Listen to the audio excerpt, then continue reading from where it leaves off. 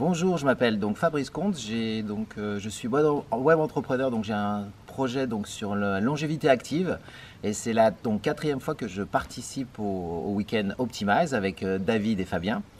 Donc euh, une très bonne expérience parce qu'effectivement on arrive avec un projet, on essaye effectivement de le monter avec eux étape par étape avec des choses qui peuvent nous, nous bouleverser parfois parce qu'effectivement c'est pas facile hein, de travailler sur soi, de travailler sur son projet et d'avancer étape par étape avec des professionnels euh, du web. Donc c'est ça, moi, que j'apprécie dans, cette expérience. Euh, le fait, effectivement, d'être accompagné de week-end en week-end, de pouvoir passer d'étape en étape avec euh, les requins bouddhistes qui ont vraiment un état d'esprit de famille, où on est bien, où on se sent bien et on a envie de, progresser tous ensemble.